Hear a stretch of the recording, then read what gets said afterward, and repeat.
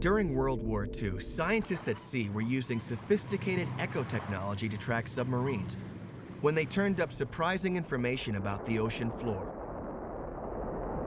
There they found a stretch of underwater ridges made of continually erupting volcanoes. The mid-ocean ridges formed when molten rock rises from inside the earth and then pushes the crust apart. A vast spreading seafloor strong enough to move the continents. Not only is new crust formed at mid-ocean ridges, but it dips back down again into the interior of the Earth.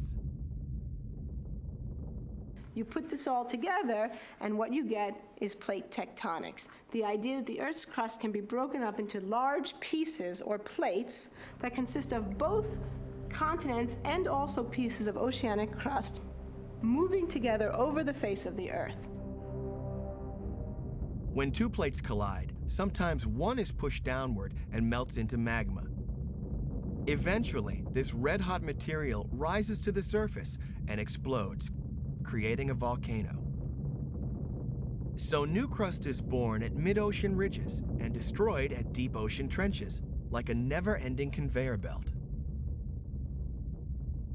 And two plates simply nudging each other can cause catastrophic results, like when the San Andreas Fault slipped in 1906.